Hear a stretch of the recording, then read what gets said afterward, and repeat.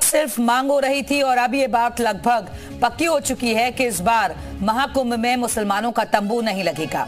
अगर प्रशासन ने मोहर लगा दी तो यानी मुस्लिम दुकानदार महाकुंभ में दुकान नहीं लगा पाएँगे।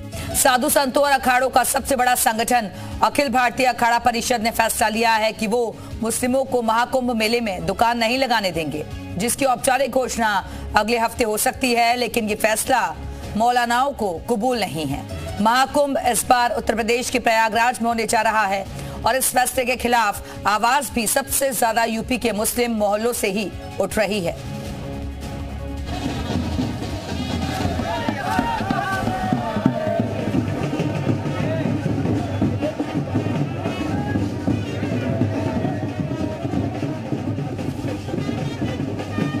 ये अभी आने वाले कुंभ का आगाज़ है, जो नगर प्रवेश हो रहा है।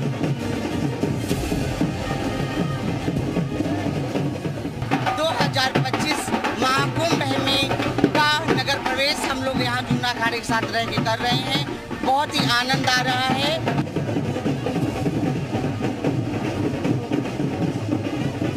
प्रयागराज कुंभ मेले में प्रस्थान के लिए सभी लोग चलिए। कुंभ मेला प्रयागराज नगर प्रवेश आज जूना खड़ा कर रहा। महाकुंभ का आरंभ 13 जनवरी से हो रहा है। लेकिन साधु संतों का प्रयागराज आना आज से शुरू हो चुका है। गाजे बाजे के बीच जूना अखाड़ा और इससे जुड़े किन्नर अखाड़ा के संत रथ, पालकी और बग्गी में बैठकर नगर में प्रवेश कर चुके हैं।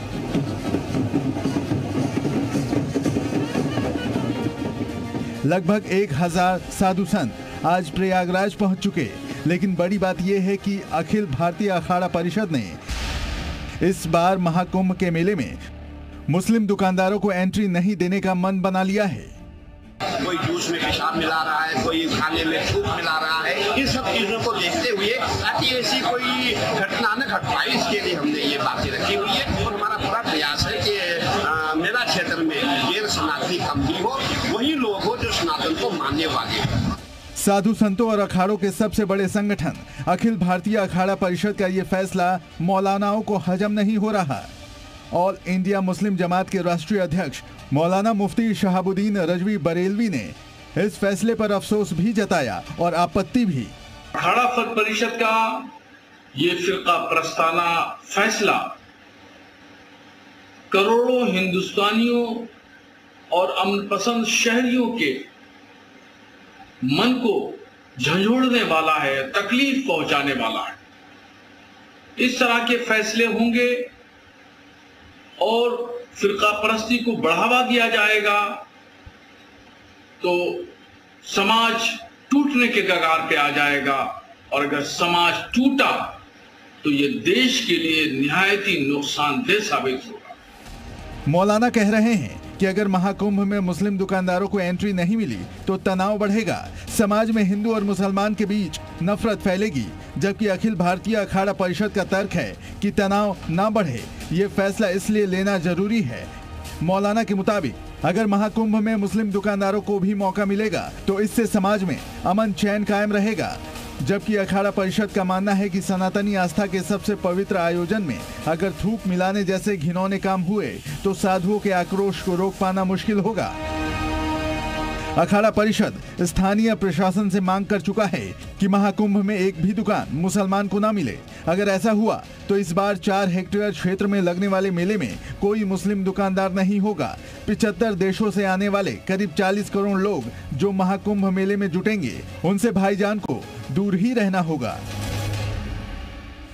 अखाड़ा परिषद को बागेश्वर धाम वाले पंडित धीरेन्द्र शास्त्री का भी समर्थन मिला है।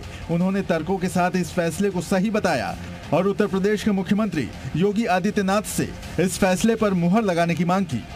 वहाँ सब सनातनी आने हैं। तो अखाड़ा परिषद के जितने भी महापुरुषों ने ये निर्णय लिया उत्तम निर्णय लिया इसके पीछे बहुत अच्छा लॉजिक है कि जिन्हें सनातन का ज्ञान हो हिंदुत्व का ज्ञान हो उस कुंभ की महत्वता पता हो वहाँ के देवी देवताओं के बारे में पता हो साधु संतों के बारे में पता हो अगर वही कार्य करेंगे तो किसी भी प्रकार से द्वंद्व की स्थिति प्रकट नहीं होगी।